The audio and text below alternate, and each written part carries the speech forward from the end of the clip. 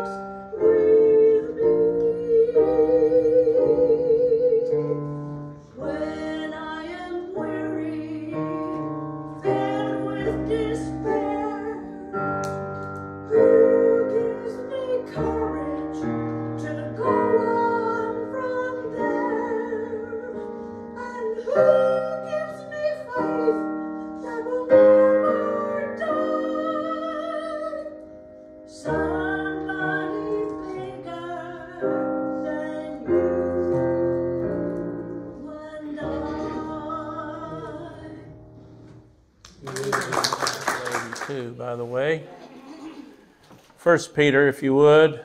1 Peter chapter 1. We certainly want to welcome all of you. Thank you so much for being with us today. What an honor it is to be your preacher. And of course, we'll need a little extra prayer today. Uh, it's uh, we got a lot of emotional things going on right now, but uh, the Lord will help us, and we know that uh, we have a good message for His people. We want to welcome you to the uh, services here at Messiah Baptist Church, where we can say the doors are never closed except for the weather.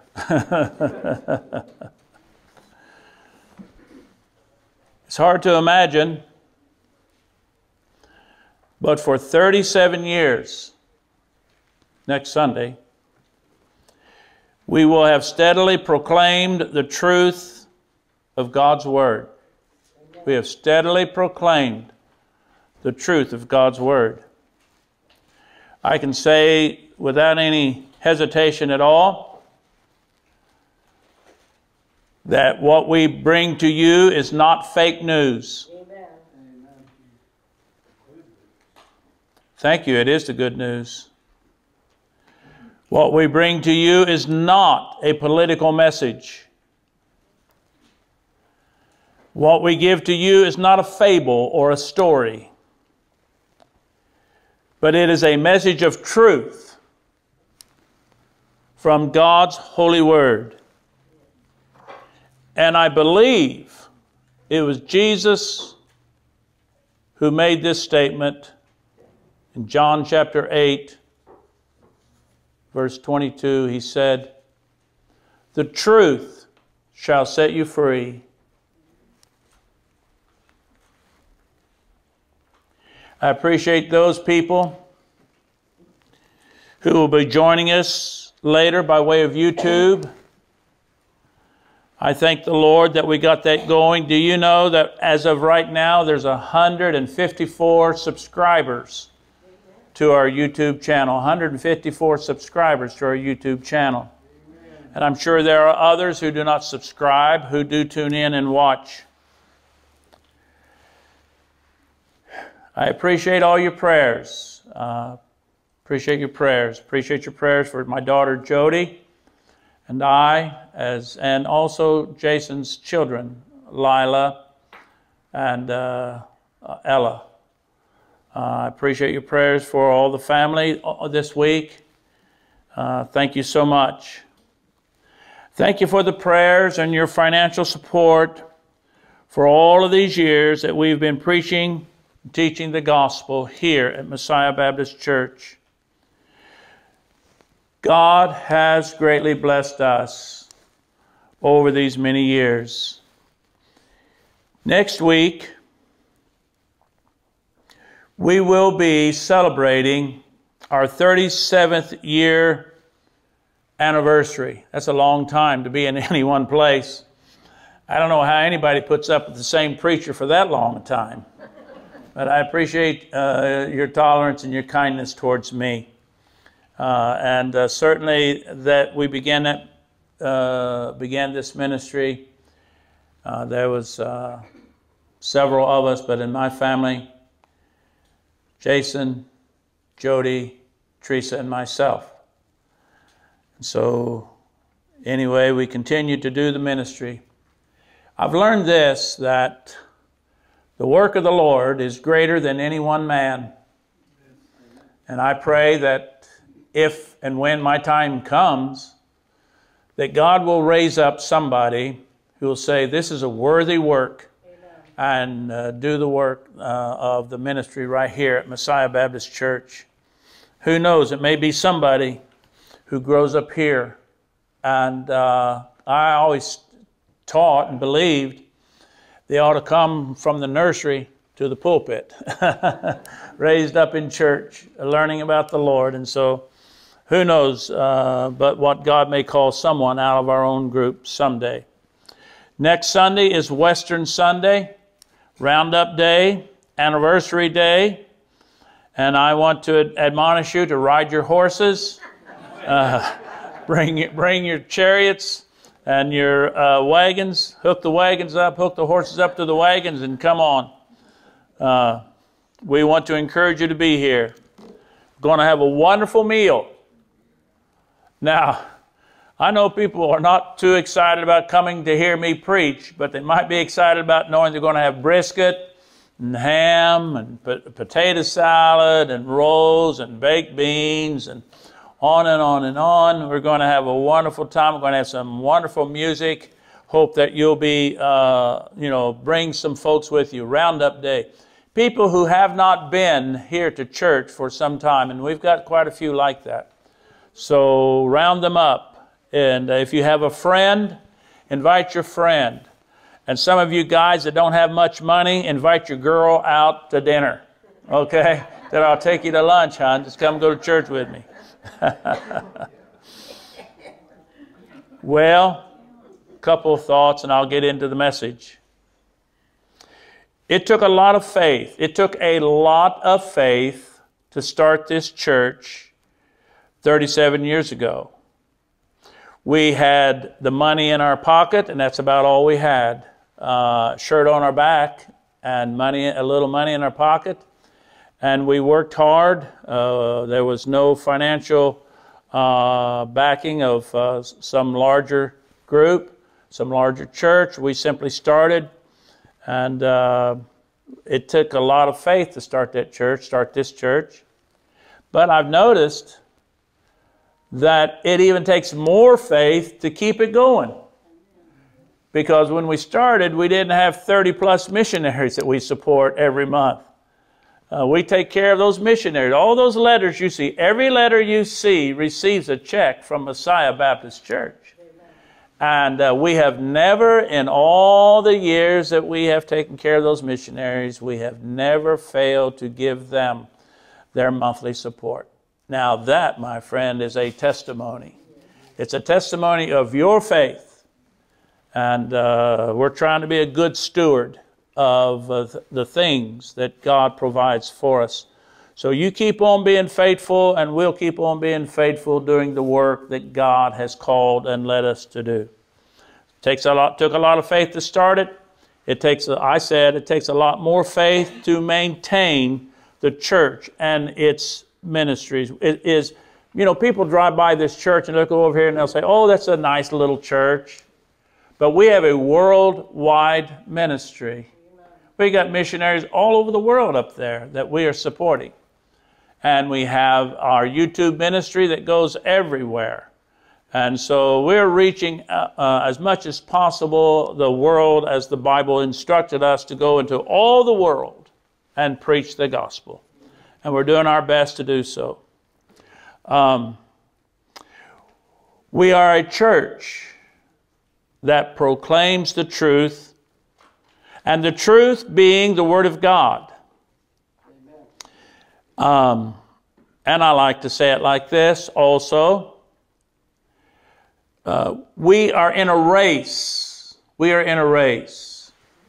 Now, I look back there in the back and I see JoJo sitting back there. And JoJo, about 25 years ago, I challenged JoJo and Jason to a race. And they beat me. Maybe 30 years ago, I don't know, but it was quite a number of years ago. And uh, maybe 40 years ago, I don't know. But anyway, they beat me. Ran a quarter mile. I said, I can outrun you guys in the quarter mile backwards. So then the other day, JoJo was and I were talking, he said, Mr. King, you think we can have that race again? but we are in a race. We are in a race. Um, and we are not just starters. We're going to finish the race. Because anyone can start, but we're going to finish. We're admonished, we are admonished in that race to lay aside every weight that slows us down and every sin that may beset us. We're admonished to run that race that way. Don't let the weight of the world burden you down, throw up your hands and give up. And for heaven's sakes, don't let sin get involved and uh, get you sidetracked. So we are to run the race with patience, laying aside every weight and every sin that does so easily beset us. Jesus said, If you abide in me, and I in you, you shall be my disciples. He also said, now listen to this, he was talking to the multitudes. And he said to the multitudes who were excited about uh, Jesus and the possibility of him uh, being, you know, uh, taking him and making him king and all that. And they were excited about all that. And uh, they were following the Lord. But then one day in one of his messages, Jesus speaking to the multitude said these words Take up your cross and follow me. And when he said that, Cedric, the crowd dispersed and began to leave him. Because there's a difference between wearing a cross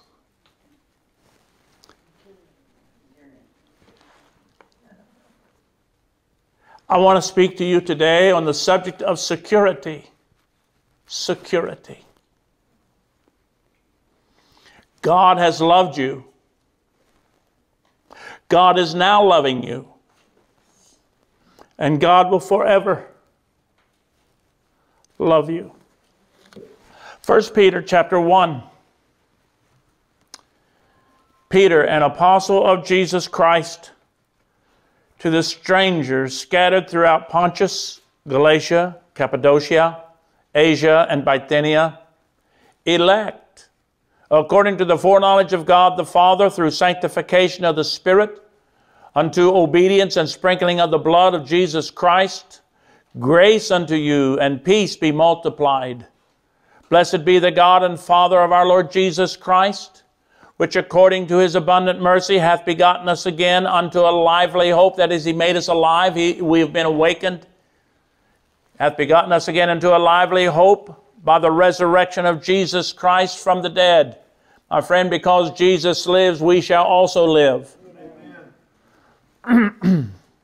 Look at this. To an inheritance, incorruptible, undefiled, that fadeth not away, reserved in heaven for you, who are kept by the power of God through faith unto salvation, ready to be revealed in the last time, wherein ye, re- ye greatly rejoice. Though now for a season, if need be, ye are in heaviness, through manifold temptations or trials, trials of your faith, that the trial of your faith, being much more precious than of gold that perisheth, though it be tried with fire, might be found unto praise and honor and glory at the appearing of Jesus Christ, whom, having not seen, I haven't seen Jesus personally. I've seen perhaps manifestations of his work, but I haven't seen him. And Peter says, Whom having not seen, you love him. You, you haven't seen Jesus, but do you love him? Do you love him? In whom though now you see him not, yet believing. You haven't seen him, but do you believe in him? I haven't seen him, but I believe in him. You rejoice with joy unspeakable and full of glory, receiving the end of your faith, even the salvation of your souls. These Christian believers that Peter is writing to were experiencing unbelievable persecution. They had been driven from their homes. They were living in fear for their very lives. They were living in caves. They were living in forests and in the wilderness. And so Peter writes them a letter to encourage them. Now, I'm going to give you a statistic here in a second, but I want you to understand I look, took time to look it up yesterday to make sure I was giving the right statistic to you concerning the persecution of God's people. Many Christians throughout the world, even today, live in fear for their life and their jobs. I read, not, I read yesterday that in the world last year there were 90,000 Christians who were martyred for their faith. I also read this that Christians are the most martyred people of faith in the world. 90,000 of them lost their lives last year for their faith. But the Bible teaches that God's grace is sufficient even in these trying times. God's grace is sufficient even in these trying times. Not only and I gave you this one time a long time ago, but that's all right. Not only are we saved by grace, but we also are kept by that same grace. 1 Corinthians 15, 1 Corinthians 15, for if in this life only we have hope in Christ, we are of all men most miserable. But now is Christ risen from the dead and become the firstfruits of them that slept. For by grace are we saved, by his grace, First, by His grace, we are saved, or we were saved. By grace, we are being saved. Even now, God is saving us. And one day we shall ultimately be saved and taken to heaven. Many years ago, many years ago, we had a Sunday school teacher named Brother Bob. Anybody remember Brother Bob? Brother Bob. Brother Bob taught Sunday school for 22 years. Brother Bob. Brother Bob, man, he was a good guy. He was a closet alcoholic. I didn't know it, of course. He, was, he hit it good, Shirley. That's what uh, Judy told me. And uh, one night he got picked up for DUI. And his, his wife called Brother Paul, and she's upset. Can you go see Bob? He's down at the jail. Will you go visit him? I went down there, and he was sleeping it off. He didn't care if I was there.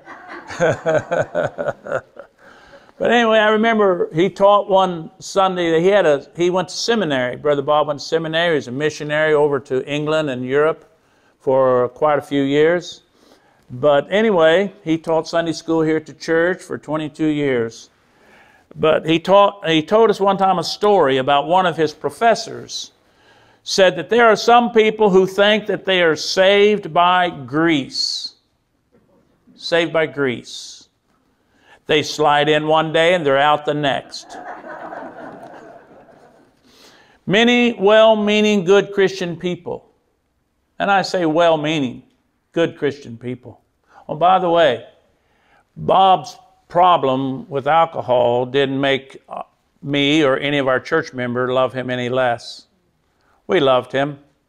In fact, he well, pretty much came back and was sober for a couple of years, and we began to let him teach Sunday school again.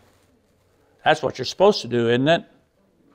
Not supposed to hold something silly like that. I'm glad y'all don't know my secret sins. Many well meaning, good Christian people have failed to realize that salvation is the free gift of God. For you did not choose him. You didn't wake up one morning and say, I think I'll choose Jesus. It didn't work that way. You were probably running away, trying to get away, trying to escape. And Jesus came and found you. He's the good shepherd. He didn't give up until he found you. And he may still be looking for you. But he's the good shepherd. He'll come, he'll find you, and he'll put you on his shoulders and he'll bring you home. For we did not choose him, he chose us. Many years ago, many years ago, approximately 40 years ago. Is that many years? many years ago, I pastored a church, not much different than this church. I pastored a church way out in the country up on a hillside. It's called the First Baptist Church of West Portsmouth, Ohio. You can look it up for yourself. But West, but Ohio, uh, the Ohio River Valley, which is where we were, is the poorest, financially poorest section of the United States, the Appalachian Mountain Range area. And that's where we pastored, right there in the country. And I had a wonderful, wonderful ministry there. Really enjoyed being there. Those people were very poor. Unemployment uh, during the time that I was there was around 35 to 40 percent. Unemployment was 35 to 40 percent. The rest of the people lived on what is called ADC, Social Security, or some kind of disability. ADC is Aid for Dependent Children. And so they lived that way, and only about maybe 30% of them had real jobs. So that area was depressed, to say the least. They were, uh, but, you know, wonderful people, and I loved them very much, and they loved their preacher. One of the most important doctrines that I could teach them was a doctrine of eternal security. Uh, people who visited the church people who would say want to talk about joining the church. They wanted to make sure that I believed in what is called the security of the believer. Most of them did not have very much of this world's goods. So they wanted to make sure that they had a home in heaven, a place reserved, a mansion. I know a lot of people do a lot of different semantics on the mansion and all this, that, and the other, but I'm just going to say mansion, okay? A place reserved, a mansion with their name on the front door. Their hopes, their dreams were laid up in heaven. And Jesus said, Lay not up for yourselves treasures on earth, where moth and rust doth corrupt, and where thieves break through and steal, but lay up for yourselves treasures in heaven where moth and rust doth not corrupt, and where thieves cannot break through nor steal. I remember probably 20 or so years ago, Miss King and I were talking. We were talking about the church and the different things and the work here the, uh, in the ministry. And I said to her, I said, Teresa, you know you and I got more money up in heaven than we got down here. We had invested everything to make sure of the welfare of this ministry. And not only this ministry, but in the churches that we were in before. But we've laid up more treasures in heaven.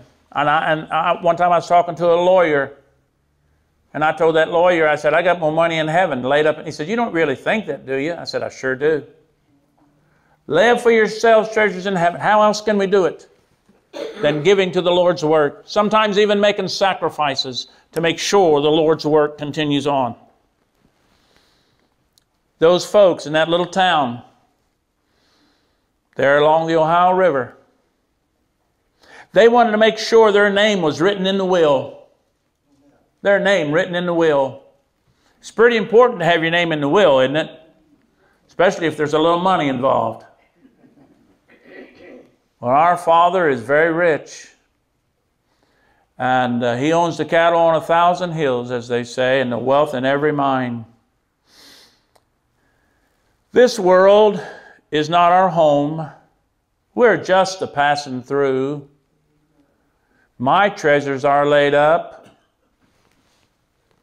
somewhere beyond the blue. Thank you, Maddie Bell.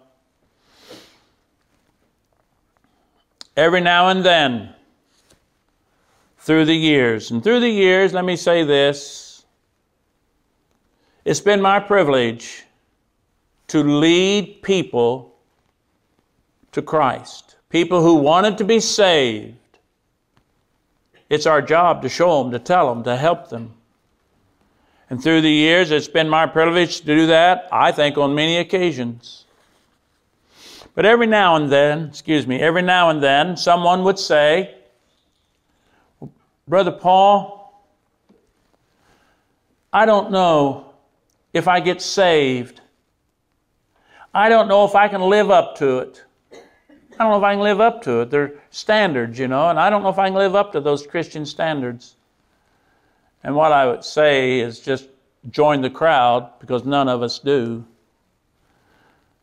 They're afraid of being a failure, to give their heart to the Lord, to serve the Lord, to live for God.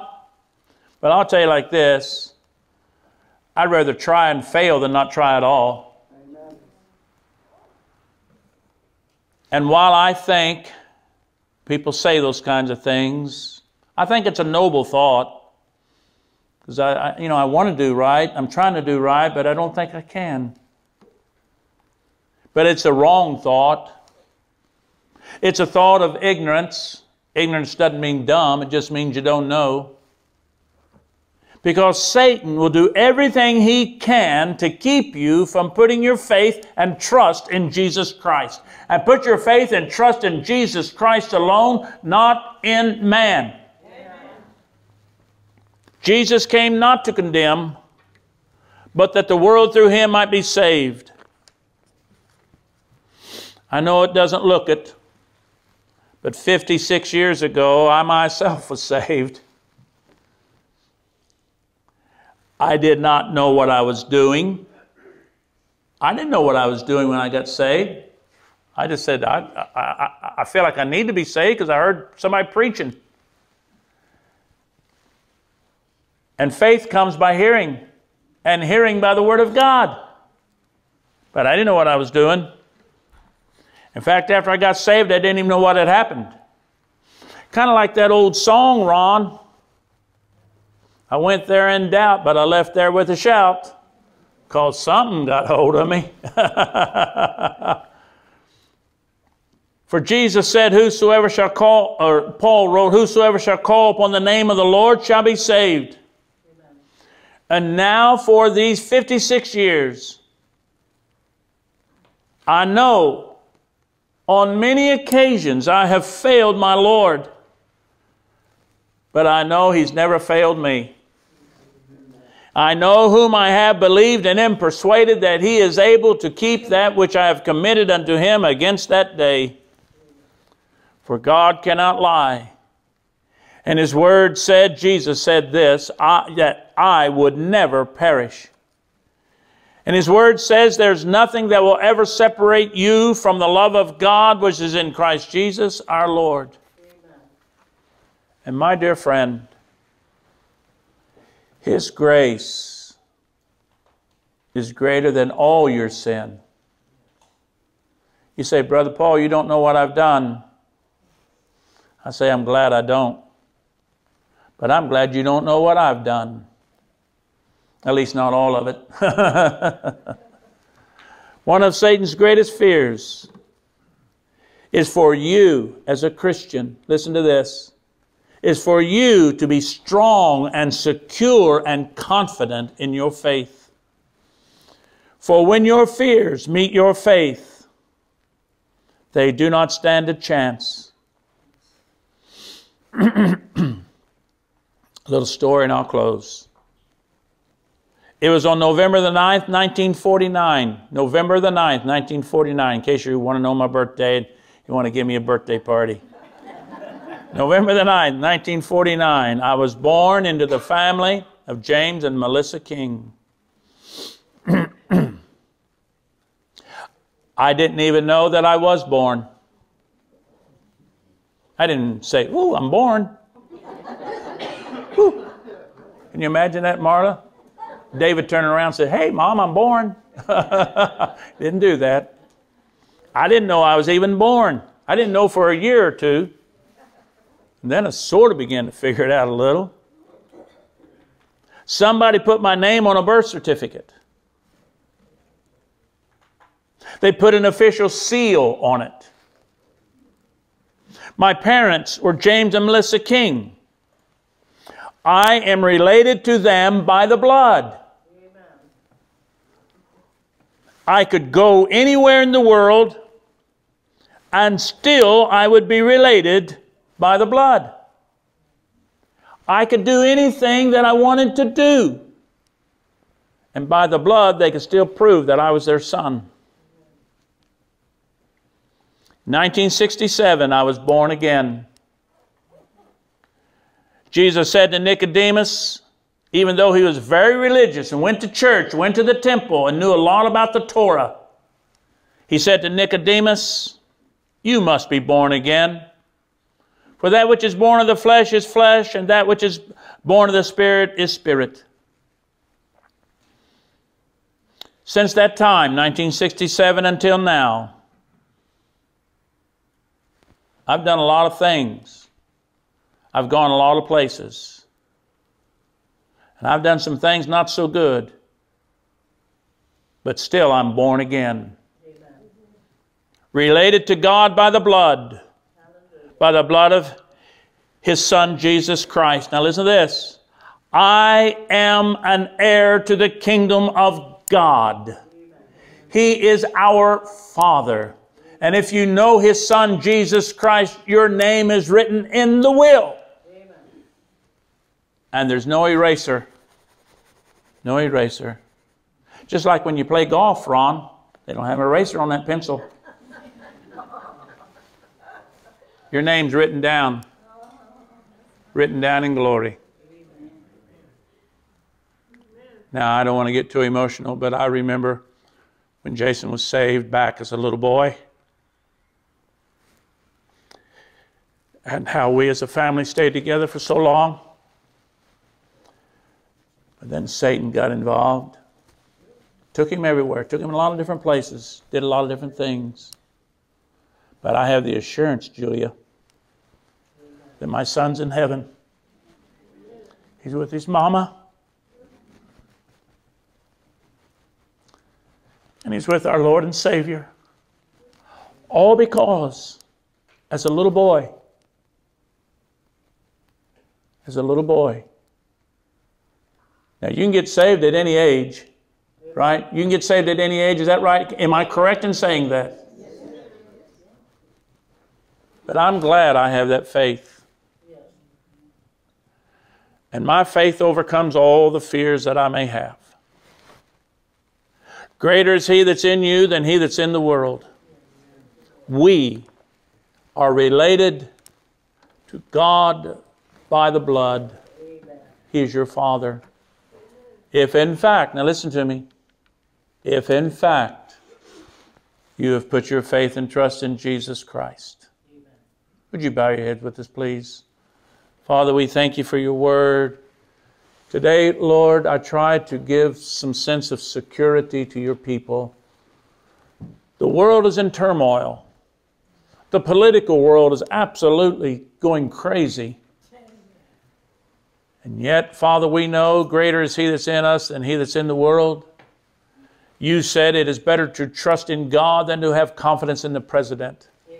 So help us, Lord, to put our faith and trust in you alone, knowing that the king's heart is in the hand of God, and he turneth it whithersoever he will. Now, Lord, if there's someone here today that doesn't know you, then I ask that they might come to know you as their Savior. And, be, and rest assured, or if there's somebody here today keeps asking themselves, well, I don't know if I'm saved or not. I don't know if I'm saved or not. I don't know. Well, help them, Father, to give, let them be secure in their faith, to just ask you, just ask, Lord, save me, Lord, forgive me. Pray that little simple prayer. Help them to know that they are your child and you've been searching for them. You've been longing and looking for them. They are precious. They are precious, like our little children. Our, our little children are precious in our sight. We are precious in your sight. So I pray, Father, if there's anyone here that know you, that they will know you, or if there's someone here today who feels insecure, that they'll just make sure of their relationship with you. And then if there's someone listening by way of YouTube, sitting on their couch or laying in the bed or sitting at the kitchen table, I pray, Father, that they might hear and uh, put their faith and trust in you, go to a church somewhere close by, get baptized, and start serving you. May your will be done in each of our lives. Thank you for loving us. And we love you because you first loved us. In the name of Jesus, we pray. Amen. Stand with us, please, and turn to what number, Brandon? 342, just as I am. 342. 342, just as I am. Thank you very much.